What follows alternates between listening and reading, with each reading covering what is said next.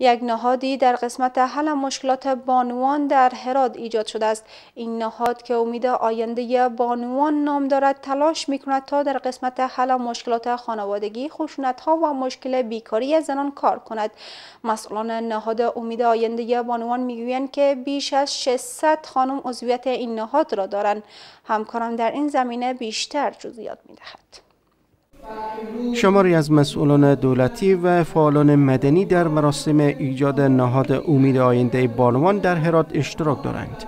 این نهاد قرار است در بخش‌های مختلف با زنان کار کند. از جمله مشوره دادن به خانم ها، ایجاد کاریابی و حل مشکلات خانوادگی.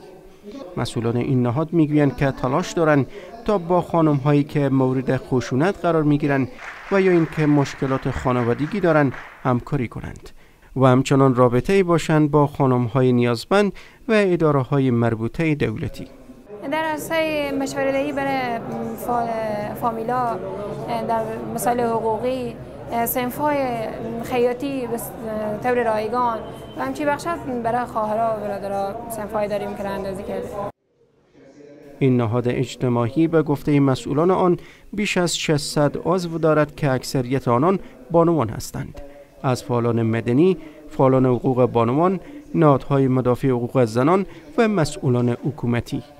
مسئولان نهاد امید آینده بانوان امیدوار هستند که با همکاری این اعضای خود کمک خوبی برای بهبود وضعیت زنان در هرات انجام دهند. بیشتر خانم به هرات به خاطر کار کردن یا به ارگانهای دولتی ارگانهای شخصی مشکلات زیادی دارن ما سعی می‌کنیم از طریق این نهادها برای خانم کمک بکنیم که بتونیم مشکلات های حل بسازیم. خانمایی بودم درباره در دفامین مشکل داشتم خانمایی بودم به بیرون اینا کلا معرفی شده به نهاد ما و از طریق نهاد ما به این طرف جایی که لازم باشه به اونجا این نهاد در حال ایجاد شده است که در سالهای اخیر با وجود فعالیت دهها نهاد در عرصه بانوان خشونت ها در برابر بانوان انواره رو به افزایش بوده و عمل کرده این نهادها برای بهبود زندگی زنان موثر نبوده است.